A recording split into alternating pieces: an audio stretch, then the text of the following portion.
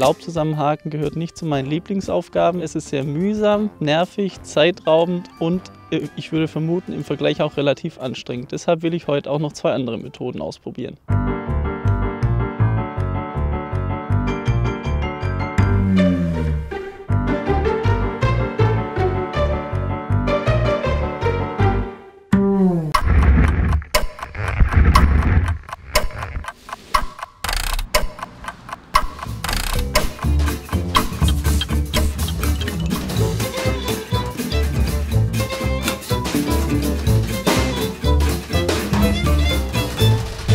Fertig.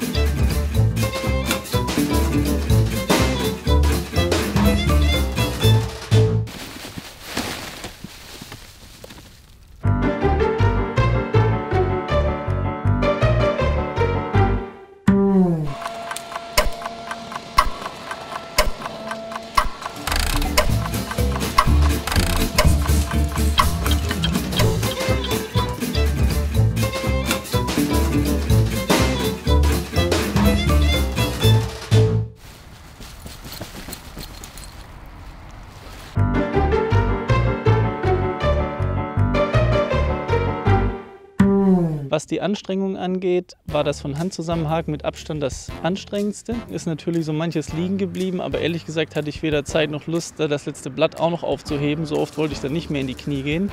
Der Rasenmäher hat ganz gut aufgenommen, aber er hat halt auch einiges an der Seite wieder rausgeschleudert. Vielleicht hätte ich ihn etwas tiefer einstellen müssen, aber ich wollte ja nicht nochmal den Rasen mähen, sondern nur das Laub aufsammeln. Der Laubsauger war überraschend angenehm zu bedienen, muss ich sagen. Auch von der Lautstärke her fand ich das jetzt nicht unbedingt schlimm.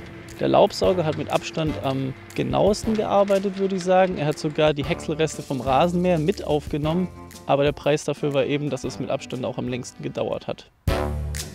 Die Ergebnisse, was die Häckselleistungen der unterschiedlichen Geräte angeht, sind allerdings durchaus beachtlich. Jeder, der keinen riesengroßen Kompost hat, weiß, dass das ein Faktor ist, der nicht unterschätzt werden sollte.